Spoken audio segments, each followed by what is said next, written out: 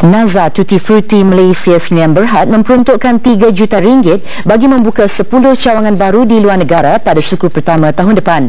Cawangan baru itu akan dibuka di Thailand, Indonesia dan Afrika Selatan walaupun uh, apa namanya Afrika ni besar tetapi sebenarnya Afrika Selatan adalah negara yang paling membangun di Afrika.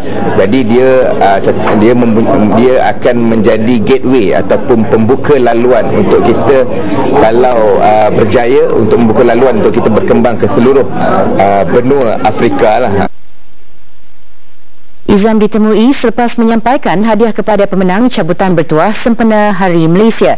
Kini Tutti Frutti mempunyai 125 cawangan di seluruh negara dan 8 di luar negara.